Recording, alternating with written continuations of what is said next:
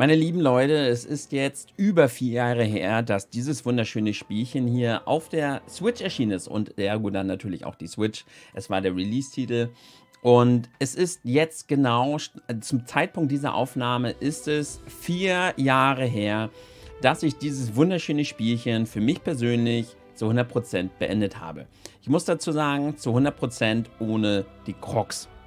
Ich habe damals mich in diese Welt eingefühlt. Ich habe mich auf eine wunderschöne, ganz, ganz besondere Videospiellandschaft eingelassen und habe etwas ganz, ganz Besonderes erlebt. Ich habe damals direkt danach Breath of the Wild als das beste Spiel betitelt, das ich je gespielt habe, habe es nach Link to the Past auf Platz 2 meiner liebsten Spiele aller Zeiten gesetzt und wie das oft so ist, wenn man Spiele spielt, wenn man Spiele spielt, die neu sind, wenn man Spiele neu erlebt, ist man vielleicht oft, ich sag mal, in so einer Art Verwunderungsstarre verharrt. Das heißt, wenn man ein Spiel natürlich gerade erst gespielt hat und etwas Besonderes erlebt hat, dann tendiert man eher dazu, das Spiel ein bisschen höher zu bewerten, als man es vielleicht ein bisschen später oder so tut.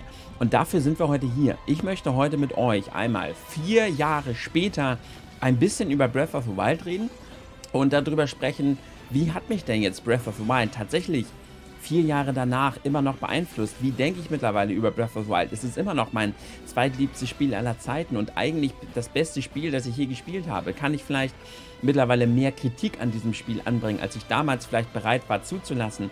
Und natürlich was wünsche ich mir für Breath of the Wild 2? Hat man vielleicht jetzt, nachdem man das Spiel ja auch öfter gespielt hat und ich das Spiel auch oft in meinen Stream-Challenges hatte, vielleicht Dinge bemerkt, die man vielleicht dann im Nachfolger vielleicht abändern oder verbessern sollte oder vielleicht Dinge, die Breath of the Wild so gut gemacht hat, die man auf keinen Fall abändern sollte. Und ich würde sagen, nach einem kleinen Trailer gucken wir uns mal an, wie empfinde ich da. Viel Spaß mit dem Video.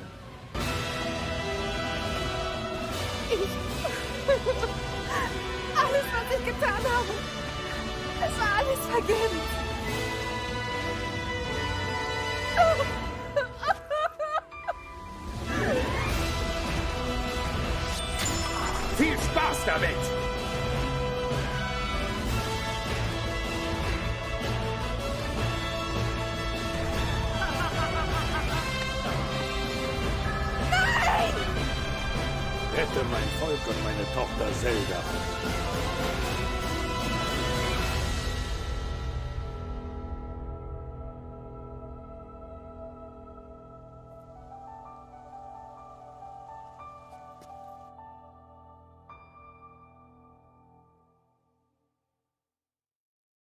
Öffne die Augen.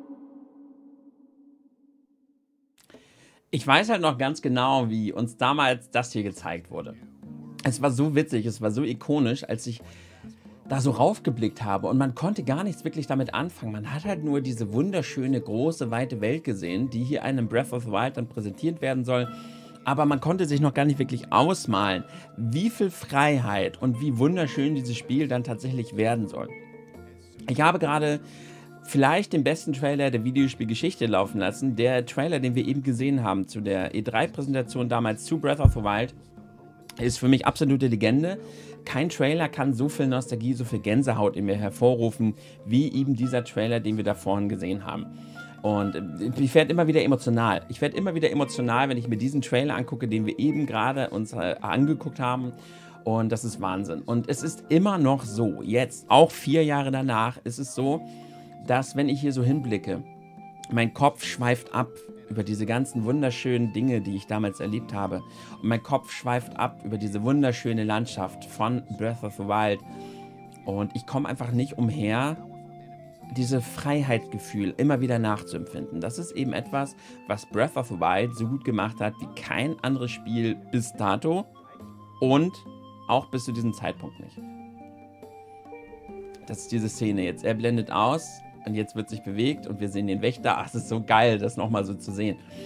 Breath of the Wild hatte einfach dieses unbeschreibliche Gefühl von Freiheit, wie gesagt, kein Spiel, das jemals wieder in mir hervorgelockt hat.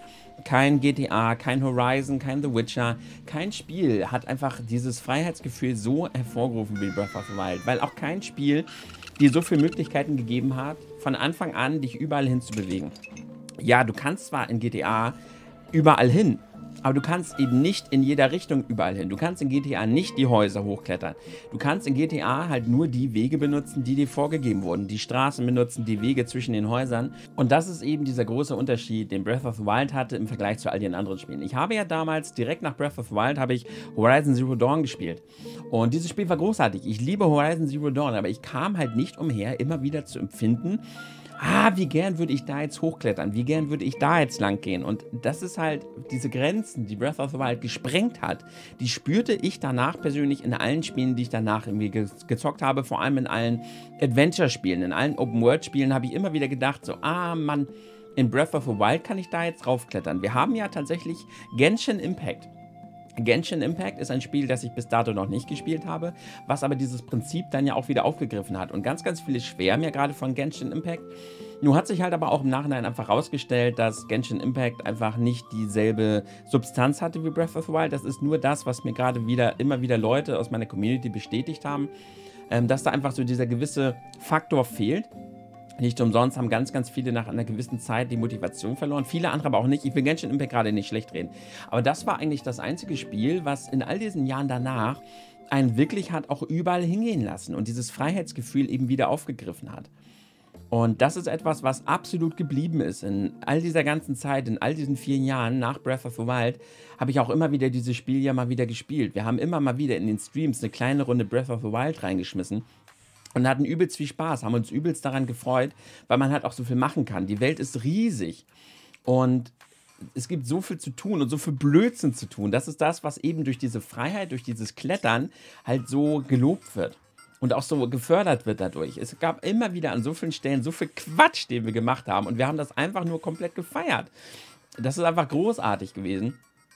Und gleichermaßen bleiben da aber doch Punkte, wo ich sage, die hätte ich gerne im Nachhinein ein bisschen besser gehabt. Ich könnte jetzt hier stundenlang tatsächlich mit euch sitzen und euch erzählen, was ich am Breath of the Wild so geil finde. Und ich kann euch nur immer wieder auch sagen, dass ihr von diesem Waffenbrechen wegkommen müsst. Das Kaputtgehen der Waffen in Breath of the Wild ist leider sehr, sehr wichtig. Man kann es vielleicht anders lösen, ähm, aber ihr müsst euch einfach nur vorstellen, was passiert, wenn du in Breath of the Wild direkt in die Gerudo-Wüste springst und du findest da unten einfach die stärkste Waffe des Spiels und die geht nicht kaputt. Dann ist das Spiel für dich uninteressant an dieser Stelle, weil du hast jetzt die stärkste Waffe des Spiels gefunden. Du brauchst keine andere Waffe mehr. Dann findest du, weißt du ganz genau, du findest im Hebra-Gebiet die stärkste Rüstung. Dann findest du im Alcala-Gebiet den stärksten Schild und zack, bumm, brauchst du nichts mehr. Das Spiel ist uninteressant und einfach da, dadurch, dass das Spiel dich überall sofort hingehen lässt und diese Freiheit auch wirklich fördert, mussten sie ein System entwickeln, dass eben die Erforschung auch weiterhin belohnt wird und weiterhin Sinn macht. Und das macht es eben durch das Waffen gehen kaputt System. Vielleicht ist es ein bisschen zu viel und ein bisschen zu doll. Vielleicht gehen sie zu schnell kaputt. Ja, bin ich bei euch. Das könnte man vielleicht überarbeiten oder dass man vielleicht, und das wäre vielleicht eine Idee für den Nachfolger, wie wäre es denn, wenn man vielleicht die Waffen tempern kann, also härten kann in Breath of the Wild 2 durch das Sammeln von Materialien, dass man eben Waffen dadurch ein bisschen länger haltbar machen kann oder vielleicht reparieren, aber dann wird es auch wieder zu mächtig, weil dann hat man halt die stärkste Waffe. Aber sagen wir mal, ich finde irgendwo ein Königsschwert und dann kann ich vielleicht bei einem Schmied in Kakariko oder so vielleicht dieses Schwert länger haltbar machen, damit es eben nicht so schnell kaputt geht. Nur so eine kleine Ansatzidee, ne? Aber wenn man halt wirklich diesen komplett offenen Faktor in Breath of the Wild nutzen möchte, darf es halt nicht so sein, dass die Waffen gar nicht kaputt gehen. Ähm, eine Sache, die ich gerne im Nachfolger besser geregelt haben möchte, ist das mit dem Regen. Denn der Regen in Breath of the Wild war halt zu OP. Er war zu mächtig. Es war halt teilweise wirklich, du warst auf einer schönen Klettertour, du warst gerade unterwegs und warst dabei, die Welt schön zu erkunden, hängst mitten im Gebirge und es fängt an zu regnen und du konntest nichts dagegen tun. Vielleicht, dass du einen Trank benutzen kannst, dass du trotzdem bei Regen klettern kannst oder eine gewisse Rüstung, dass du bei Regen klettern kannst oder irgendwas. Du warst schutzlos dem Regen gegenüber und es gab viele Situationen, wo ich teilweise einfach Pause gemacht habe, weil ich konnte, ich wollte das Gebirge nicht runter, ich konnte aber auch nicht weiter nach oben und das war ein bisschen schade mit dem Regen. Oder vielleicht, dass das Spiel dir ankündigt, wenn es bald regnet oder dass es dir eine Möglichkeit gibt, vielleicht eine eine Wettervorhersagefähigkeit zu erfarmen oder so, sodass du halt weißt, wann es regnet, dass du dich darauf vorbereiten kannst. Viele Ideen, die man vielleicht mit dem Regen im Nachfolger verbessern könnte. Gleichermaßen muss ich auch sagen, wenn ich eine Sache an Breath of the Wild oder zwei Sachen, es gibt zwei Sachen, die ich im Nachhinein nach all der Zeit in Breath of the Wild recht schade fand. Das erste sind dann doch tatsächlich die Titanen. Ich will nicht unbedingt sagen, ich möchte klassische Dungeons zurückhaben, weil sie vielleicht auch nicht so unbedingt passen würden in die Welt von Breath of the Wild. Aber gerade Breath of the Wild 2 spielt ja in einem ganz anderen Setting. Mal gucken, wie sie das da lösen. Aber gerade wenn man das Spiel nochmal spielt, ist es schon so, dass die Titanen jetzt nicht unbedingt das große Highlight des Spiels waren. Und ähm, immer wieder habe ich mich dabei erwischt, wie ich so denke, oh, jetzt durch den Titan durchquälen, diese Puzzle.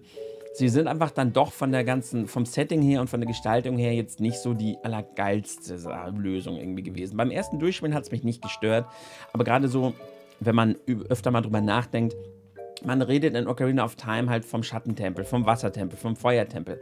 Aber niemand redet von den Titanen in Breath of the Wild, weil sie dann doch nicht wirklich so sehr in Erinnerung geblieben sind und jetzt nicht so das krasse Highlight des Spiels waren. In, man kann halt so viele Rankings machen und äh, Twilight Princess hat auch viele Probleme, aber da, da denke ich zum Beispiel an den coolen Tempel der Zeit oder an den Wolkentempel. Ich denke an diese Tempel zurück, weil sie ein Highlight waren. In Majora's Mask fand ich den Tempel genial. Und hier die Titanen sind dann eben doch nicht so ganz wirklich das Highlight gewesen. Vielleicht daher ein Kompromiss. Ich will auf jeden Fall die Schreine behalten. Die Schreine waren genial, aber statt der Titanen hätte ich dann doch irgendwie Dungeons gehabt, in die man halt wirklich reingehen kann. Die Titanen waren auch nicht wirklich lang. Und deshalb, dass man halt wirklich irgendwo reingeht und dass diese Dungeons halt auch ein richtiges, ja, kleines Areal sind und einfach ein Highlight, versteht ihr? Und dass man sich hinterher auch erinnert.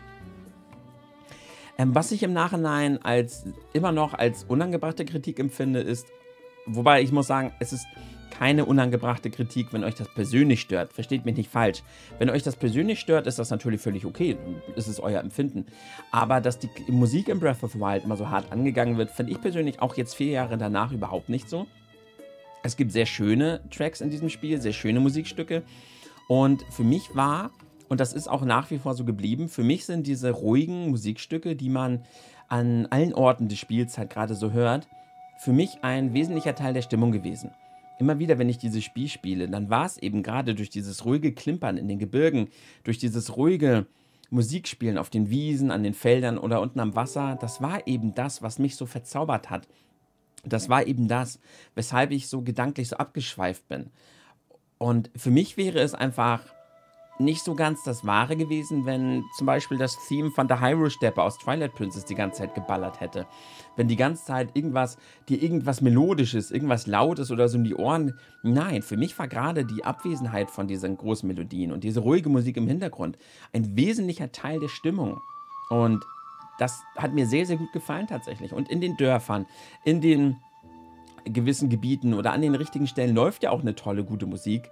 Und ähm, ja, deshalb die Musik in Breath of the Wild fand ich gut eingesetzt. Und ich würde es auch ungern im Nachfolger jetzt haben wollen, dass dann die ganze Zeit Melodie irgendwie ballert oder so. Also ich mochte das so, wie es hier in Breath of the Wild äh, eingesetzt wurde. Ja. Dann haben wir da ja noch das andere Problem. Ich hatte zwei Probleme gerade betitelt. Und das andere Problem, was ich habe, ist, dass mir im Nachhinein dann doch ein bisschen zu wenig Story in diesem Spiel war. Sie haben ja viel Vorgeschichte erzählt in ja, Hyrule Warriors, aber das war halt auch leider kein wirkliches Prequel, sondern es war so eine Art Nebengeschichte, was mich persönlich ja gestört hat.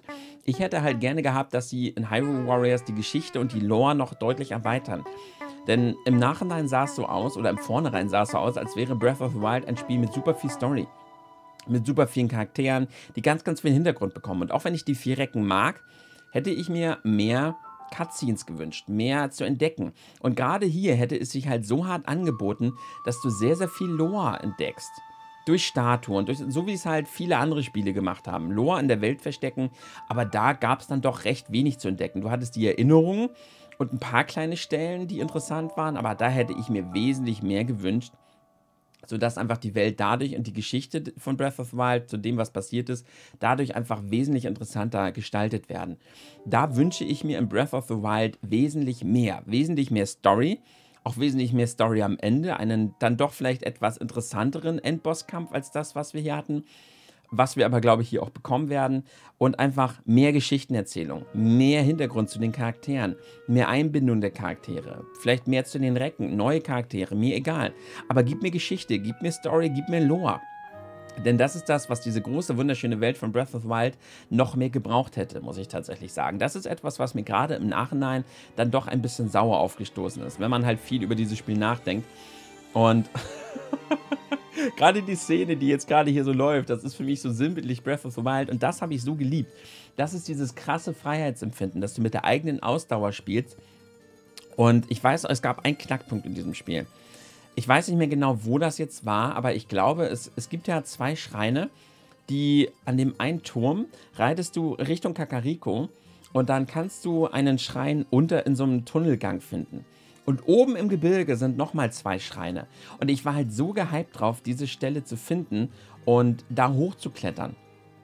Und es war so einer dieser Knackpunkte, wo ich wirklich gemerkt habe, es macht gerade so einen Spaß, von Gebirge zu Gebirge zu fliegen oder rüber zu springen und zu gucken, an welchen Stellen kannst du hochklettern. Ich hatte so viel Spaß dabei, kleine Stellen zu finden an den Gebirgen, wo du dann eben hochklettern kannst und zu versuchen, mit meinem Charakter und dem, was mir das Spiel gibt, eben ja meinen Weg zu finden.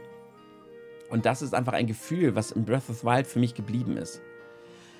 Und ähm, ja, das waren so quasi ein paar Kritikpunkte, die ich an Breath of the Wild richten kann und auch möchte.